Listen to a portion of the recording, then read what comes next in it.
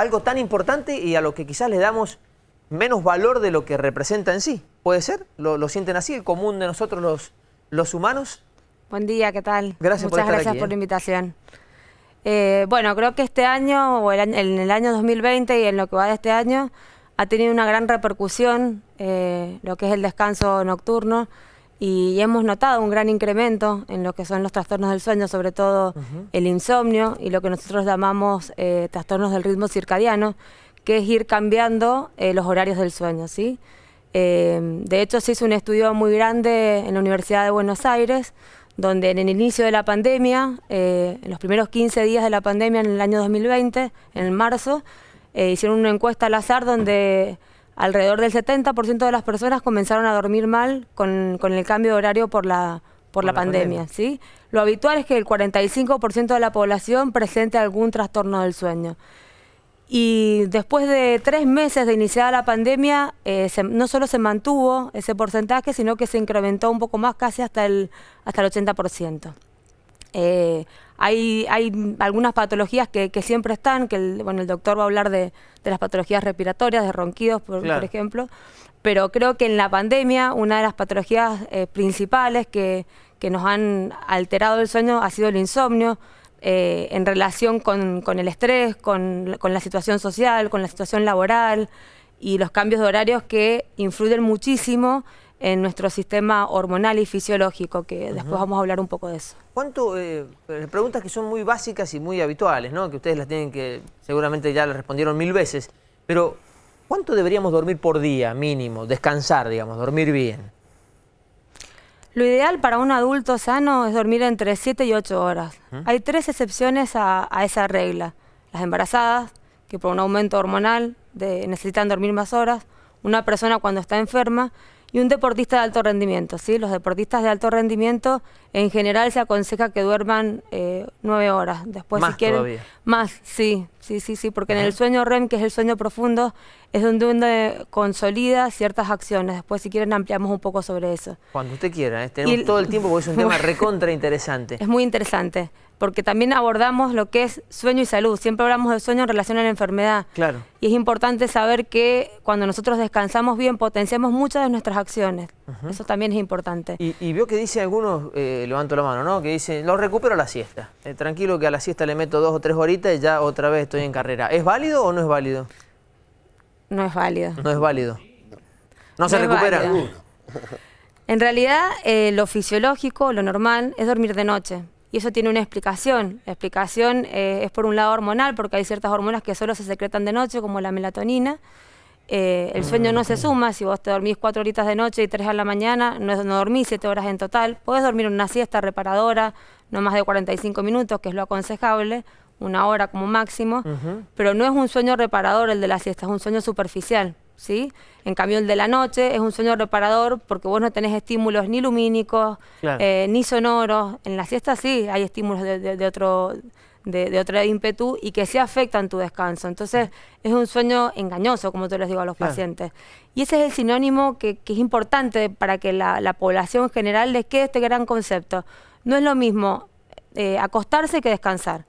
Descansar eh, es el reflejo que cuando uno se despierta eh, y siente que, está con todas sus funciones eh, al máximo de su potencia, ¿sí? Esa es la gran diferencia. Es absolutamente notable, ¿no? Cualquiera de nosotros lo distingue. El, dormir no es como un viaje en avión donde vos despegás, volás y aterrizás, sino que tenés una serie de etapas. O sea, el sueño se hace superficial, profundo, y, esas etapas se van repitiendo a, lo largo de la noche. Y uno descansa verdaderamente en las etapas más profundas del sueño. Por eso, por ejemplo, un roncador eh, que no llega a esas etapas más profundas del sueño, eh, es un paciente que durante el día va a estar cansado, va a tener sueño, va a faltar concentración, iniciativa.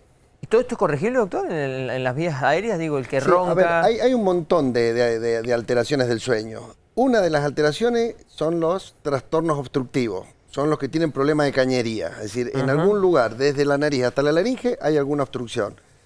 Eh, estamos hablando de un espacio de unos 10 a 12 centímetros, que es el lugar colapsable, que es de donde eh, este, empieza la faringe hasta donde termina. Y, eso se llaman apneas o hipomneas. Eh, eh, es decir, si cuando nosotros estamos despiertos, la vía aérea es como un caño de PVC, por eso no roncas despierto. Cuando vos te dormís y te vas relajando, ese caño de PVC comienza a transformarse en una manguera de bomberos, que es algo mucho más flexible, más lapso. Y eso que se relaja sería? Exactamente.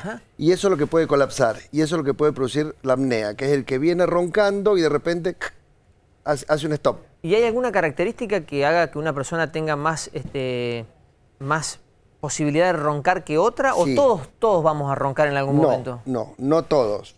Eh, los hombres tienen dos a más que la mujer. Más que la mujer. Eh, la edad, a medida que, vas duplicando a partir de los este, 30 años, entre 30 y 40 es un 2,5, entre 40 y 50, 5 y así hasta los 70 que estás entre el 30 y un 40% de pacientes con que pueden tener apneas de sueño. Eh, los chicos tienen entre un 7 y un 10% tienen apneas de sueño y es muy importante, sobre todo en chicos, porque uno aprende durante el día, pero también aprende durante la noche, que es lo que se llama aprendizaje diferido. Un chico que tiene apneas de sueño, es decir, es un chico que puede tener alteraciones de aprendizaje y puede tener alteraciones de conducta. Es decir, los chicos con desatención e hiperactividad y roncan, un tercio este, tienen este tipo de trastorno de desatención y hiperactividad. Decir que, Como todo tiene que ver con todo, qué impresionante que es el, cuerpo humano. La verdad yo no dejo de sorprenderme de la, enorme cantidad de, situaciones que se dan, ¿no? que se van conectando para que nosotros podamos vivir bien. Y a cuántas que no le damos importancia, insisto yo, como el sueño, porque ¿quién no se acuesta mirando televisión? Yo no sé si es bueno o es malo, pero creo que casi todos hoy tienen una pantalla cerca. La tecnología ha sido eh, un avance muy importante en, la última era, pero bueno, tiene sus pros y sus contras cuando uno lo usa en la justa medida. En cuanto al sueño, eh, la, luz LED, la luz azul que emiten todas las, pantallas, tanto el celular como las tablets o la computadora, retrasan eh, el, inicio de la pulsatilidad de la melatonina, que es esta hormona que induce el sueño. Entonces lo que nosotros aconsejamos es que una hora antes de dormir eh, no utilizar aparatos electrónicos porque es, como el huevo y la gallina, o mm. sea, uno no se puede dormir, utiliza un aparato electrónico para dormirse, y eso para dormirse y eso retrasa el sueño. Así que mm, eso es importante saberlo. Lo otro importante, que un poco acotando lo que dijo el doctor, que me parece muy interesante, en el grupo etario de niños, que no lo nombramos recién, que también necesitan dormir eh, entre 9 y 10 horas, y los adolescentes también necesitan dormir eh, más horas, eh, es importante lo que dijo el doctor, que, que, en el sueño REM, cuando el sueño está fragmentado, que es el sueño profundo, que nosotros le llamamos a esa etapa del sueño, es donde se consolida la atención y la memoria. Entonces, si, si el paciente eh, no llega a ese, mm. sueño profundo, eh, va a tener afectada lo que es atención y memoria y toda la parte de, la, cognición, ¿sí? Van a estar desatentos, van a, van a, les va a costar más eh, estudiar, van a tener cansancio durante el día. Y cuando uno les pregunta a las mamás o a los adolescentes, duermen siete o nueve horas, o sea, la cantidad de horas es buena pero uno tiene que apuntar no solo a la cantidad, sino a la, calidad, del sueño. ¿sí? Otro factor de riesgo ah, es la obesidad. Es decir, la obesidad también, el tabaquismo también incrementa.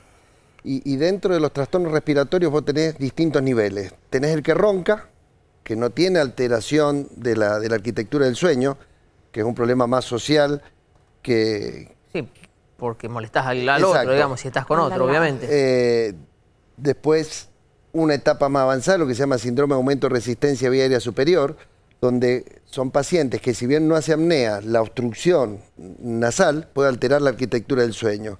Y después tener las apneas. Eh, la apnea es cuando hay interrupción del paso de aire completamente o más de un 50%, que depende la cantidad, desde leve hasta severa. Y pacientes severas son pacientes que hacen más de 30 interrupciones por hora, es decir, que cada dos minutos haces un stop. Qué bárbaro eso ya es, digamos, dormís definitivamente mal. Muy mal. Muy mal, muy complicado. Eh, ¿Está bien o está mal tomar las pastillas eh, que se veo que ahora son, son de venta libre? Eh, el melatol, qué sé yo, no sé, algunas marcas comerciales, pero ¿está bien o está mal ayudar al sueño? Es importante consultar antes para poder enfocar el programa, dónde está el, inconveniente que tiene el paciente, porque la, melatonina es un cronobiótico en realidad, es un regulador del sueño, es lo que nosotros producimos y hay que ver si ese paciente lo necesita, porque si tiene una obstrucción, lo que hay que mejorar es la obstrucción, no medicarlo. O sea, e, esa es la razón y esa es la causa por la que ese paciente está durmiendo mal. Y lo otro importante es que nosotros vemos que hay, los que hacemos eh, esta especialidad, es que hay muchos pacientes que se automedican o que ya han pasado por, por muchos médicos que, que, que, vienen tomando medicaciones para otra cosa o porque en algún momento pasaron un proceso de ansiedad o de estrés y después utilizaron esa misma medicación para inducir el sueño y las benzodiazepinas, que, que, es una de las medicaciones que, que, más habitualmente el paciente suele acceder, eh, como clonazepam o alprazolam, uh -huh. son medicaciones que mantienen un sueño más superficial, entonces no llegamos a este sueño profundo que es el que nosotros necesitamos para que el cerebro se desconecte, se resetee y pueda cumplir esas funciones que mencionamos anteriormente. Claro. Y en general, los que, los que estamos en esta rama de la medicina, solemos utilizar medicaciones que eh, no, no, no tienen tantos efectos colaterales. No utilizamos medicaciones tan fuertes para que el paciente al otro día pueda tener un buen rendimiento cognitivo, pueda acceder a, su, uh -huh. a sus labores o pueda seguir estudiando, porque si no, eh, las, hay medicaciones que bajan eh, los niveles de atención, los claro. reflejos, y eso puede interferir tanto en la actividad intelectual como laboral. Por otro lado, sí. Si tomás clonazepam, es lo mismo que pasa si tomás alcohol. Es decir, produce mayor relajación. Entonces, esa manguera de bombero que yo te comentaba recién es mucho más laxa y hace mucho más apnea. Entonces, termina Entonces, siendo termina siendo muchas veces peor. Peor. Uh -huh. Sofía, vos querías preguntar también.